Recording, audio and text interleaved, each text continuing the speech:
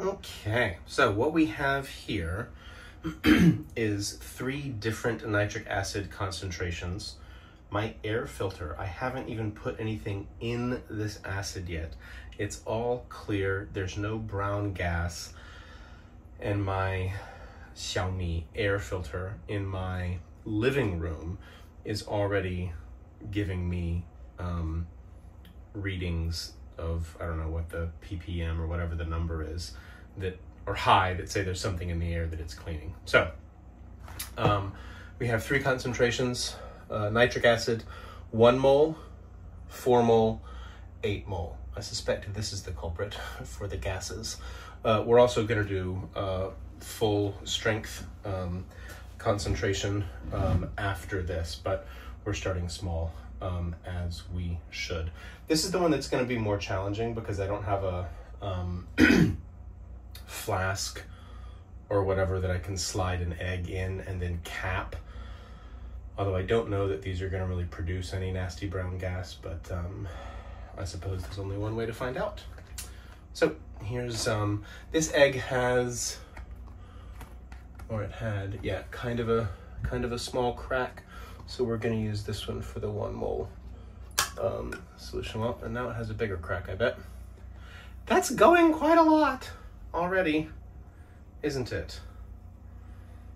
Wow, that's only one molar. That's exciting, huh? Wowza.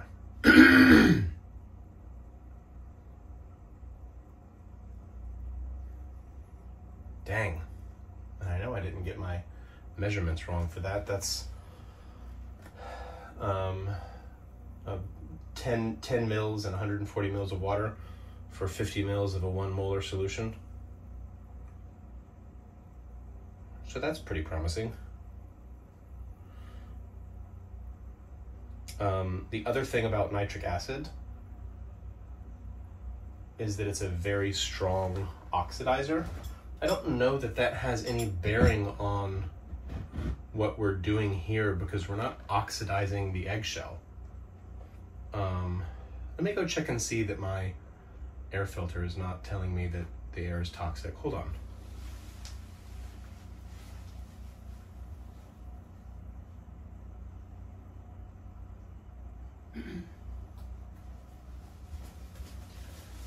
No, okay, we were good. It's just traffic outside. I have the window open. so that's going pretty nicely.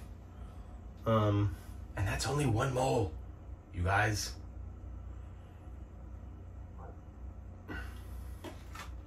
All right, so that's one mole. Um, next to it, to the right in the center here, is four mole. Let's see what that's like.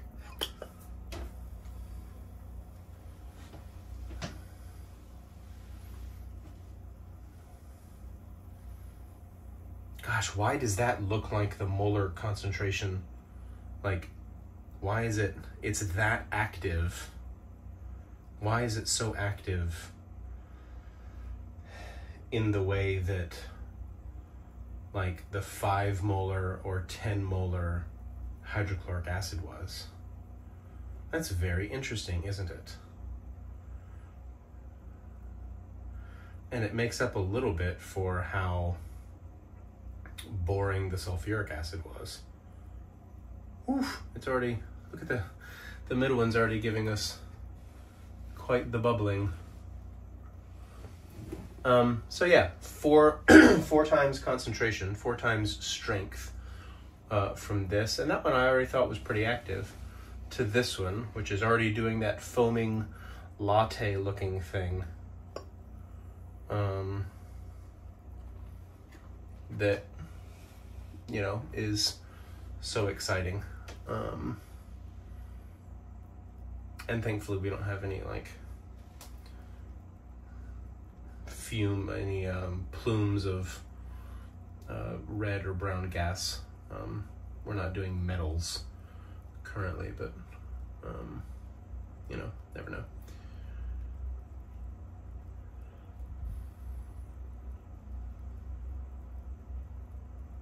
So pretty energetic. Um, I would say we'll leave this and let it go, but we can do all three at the same time, and I would rather do that than mess with nitric acid and potential fumes on, you know, three separate occasions. So here is the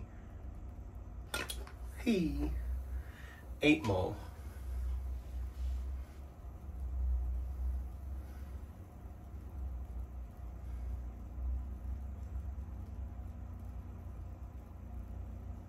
And then obviously need it be said that after we clean these three up, I'm gonna use this smallest one to do a, you know, we'll do a full, full concentration thing um, that is,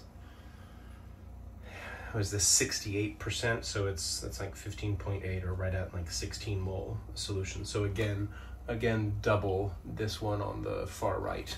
Um, and we'll, uh, we'll leave those go for, a little bit.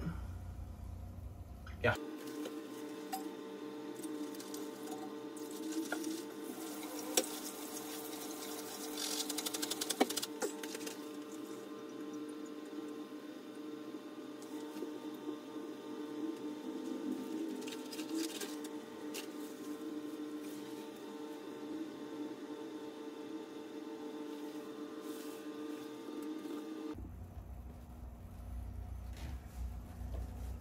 So we're continuing. And um, what's interesting is that yellowy um, substance, that egg looking substance. I don't think, I mean, that can't come from the yolk. You look at it and go, what's an eggshell made of? Calcium chloride? Chloride something? I don't know. I'm not a chemist. Um, pretty color though, isn't it? Let's um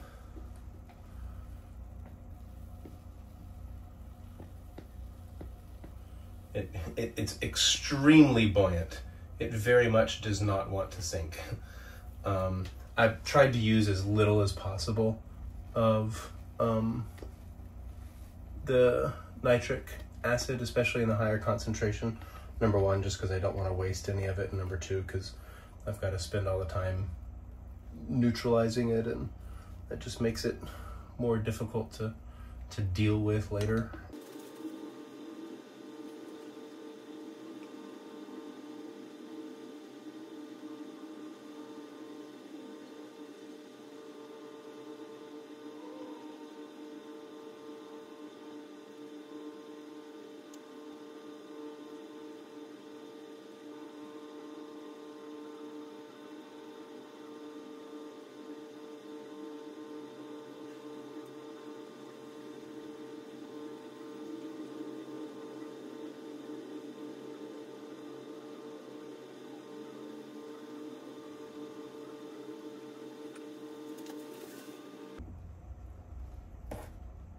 So I'm wondering if it's still hard. Oh no, that that's got soft parts. Obviously that's all still hard. That one's got, I don't know why. Is this one just maybe not in enough of the acid? Do I need to agitate it some or something?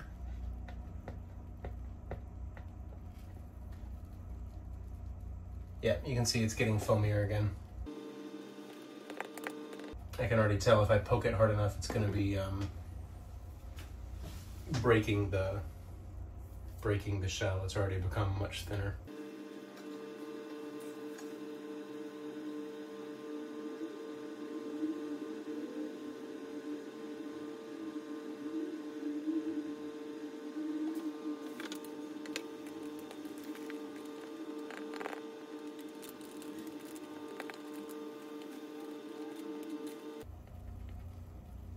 Already feel parts of this that have that have gotten um, that are naked that have gotten through the uh, the eggshell.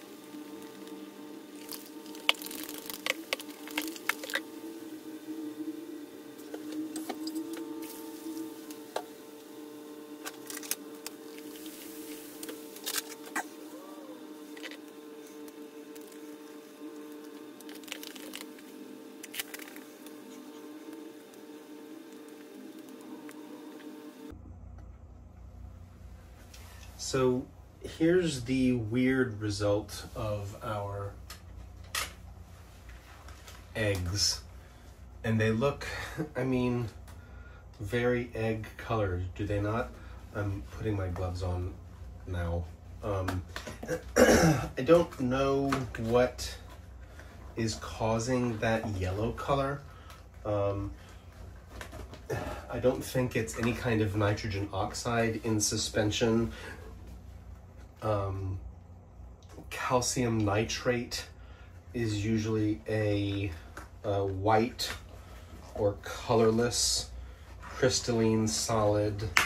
Um, I don't, I don't know. Um, ChatGPT didn't have any advice, at least.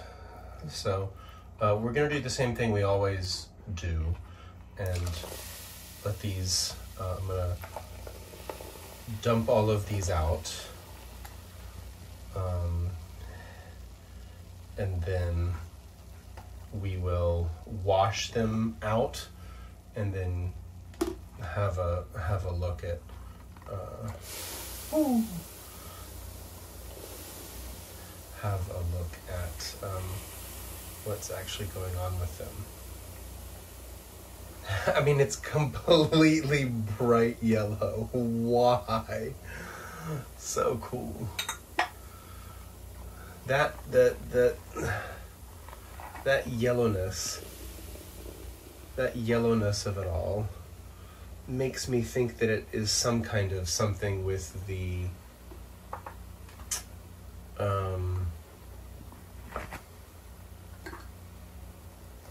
something specific to like the egg protein that has been I don't know it's very strange. So let's rinse all this out neutralize everything and then I want to take a look at the eggs close up.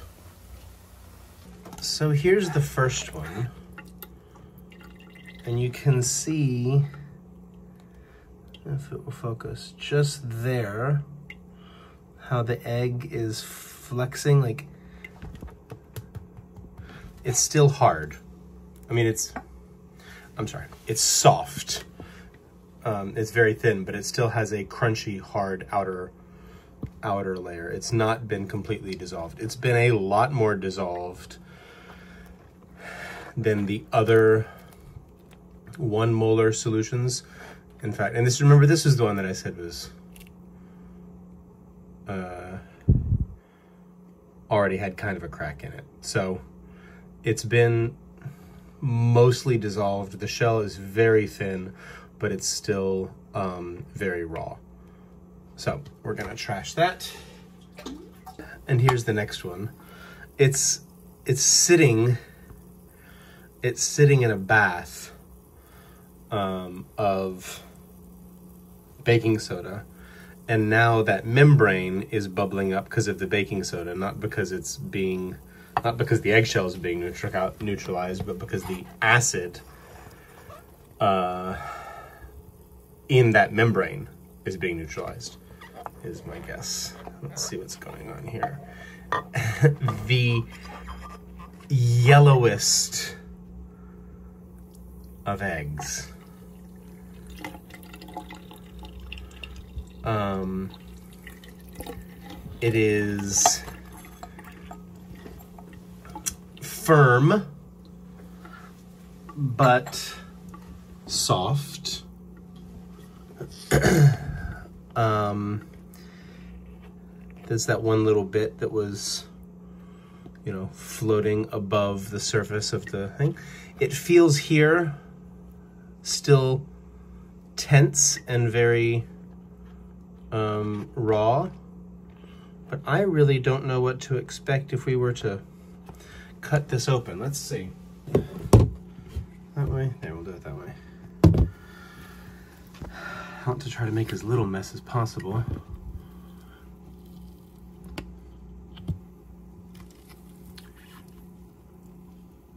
And so that's, again, already four molar. That's a very very yellow, soft boiled egg. That membrane is still there. but then some parts of the egg white, although cooked, are still white. Interesting, isn't it? But the shell, the actual crunchy part of the shell, all gone.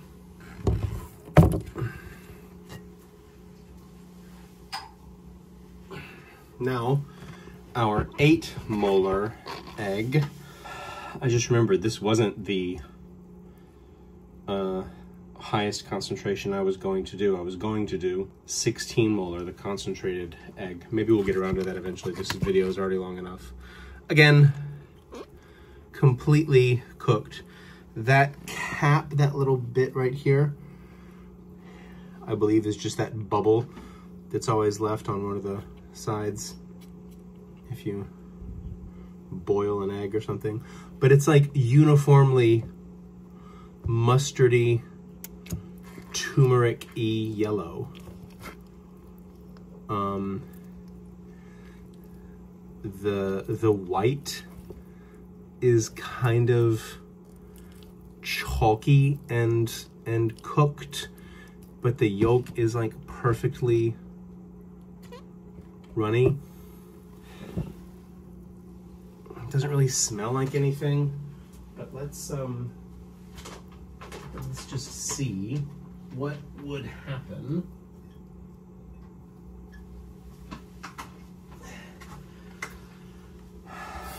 As an indication of just how acidic these eggs are still.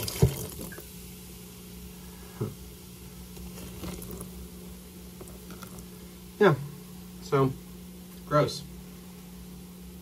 Um, so there's your there's your eggs in uh, nitric acid.